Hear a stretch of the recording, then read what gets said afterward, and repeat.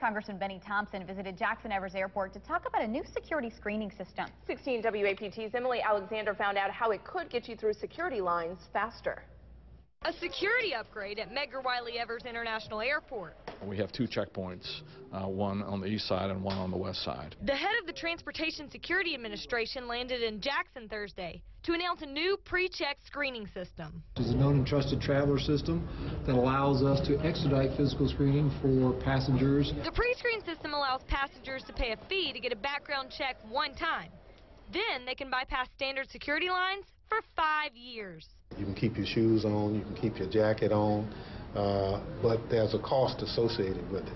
Uh, but a number of people have opted for it. There is a minimal cost. It's uh, $85 for five years, so $17 a year. Airport officials tell me not only would the new security measures enhance the safety of the airport, but it would make travel more convenient. Obviously, the benefit is when you have part of the equipment that goes down, you have the other lane that you can process quickly the passengers and their carry-on bags. Travelers we talked to had mixed reactions. Uh, pre-screening sounds nice, but I don't know about the fee. That would, that seems a little excessive to me. I mean, they already rack up the charges as it is. I'd be very pleased with that, and I understand there'll be a small charge associated with it, but I think it's a worthwhile charge to pay. In Jackson, Emily Alexander, 16 WAPT News.